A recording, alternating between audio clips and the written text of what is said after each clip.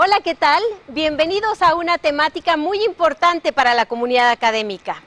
Los puntos claves para difundir a través de publicaciones en revistas arbitradas.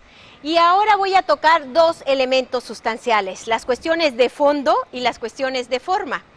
En las cuestiones de fondo vamos a tener mucho cuidado en la selección de la revista donde nosotros queremos publicar ver si esa revista acepta la temática que nosotros estamos tratando de difundir. Y ya ubicada la revista, nosotros debemos de ver las cuestiones de contenido, cómo se maneja y cómo lo estructuran.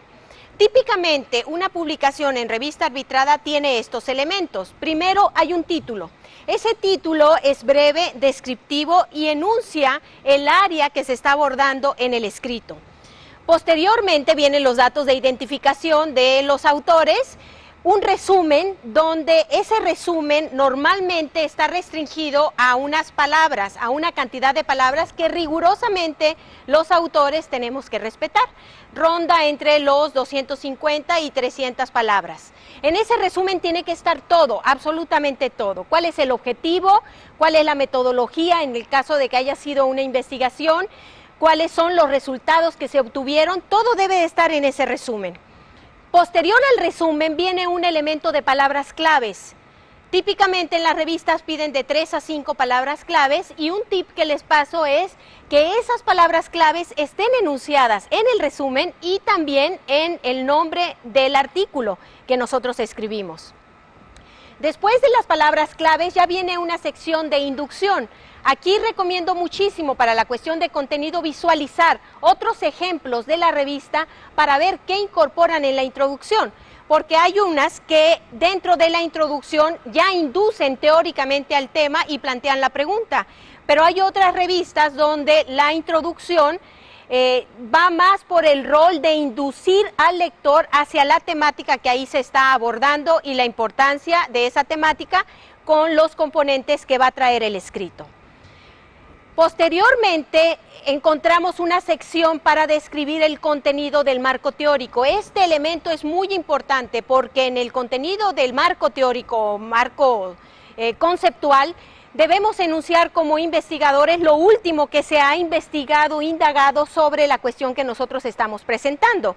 Es muy importante usar una variedad de autores de escritores también en lengua inglesa, en los anglosajones, porque hay mucha producción eh, de, eh, este, en este idioma que debemos nosotros citar y enunciar para estar en lo último que se está trabajando en la temática.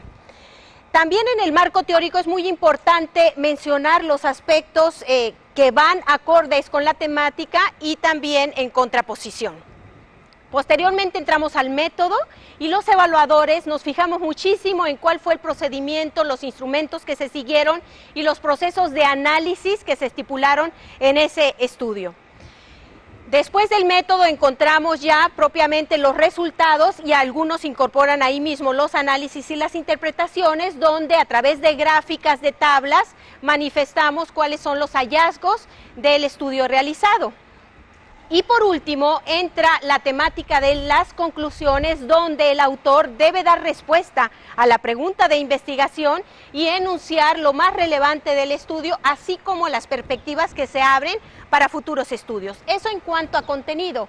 En cuanto a formato, es muy importante ser muy congruentes con los apartados de cada uno de los elementos, revisar muy bien nuestra redacción y la ortografía el formato que se solicita en esa revista, si es APA o si es otro tipo de formato, para, para respetar lo que ellos están solicitando. Por favor, hay que tener mucho cuidado en que todo lo que citemos esté debidamente referenciado. No debe de faltarnos ningún autor, ni en las, eh, en las referencias, ni en las citas, y solo mencionar en las referencias aquellos que hemos citado, únicamente a esos.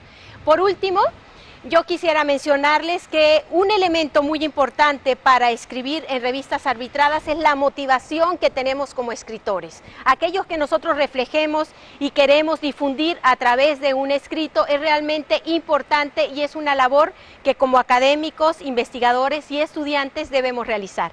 Yo les deseo muchísima suerte en sus publicaciones y que nos encaminemos hacia la publicación en revistas arbitradas. Gracias y hasta luego.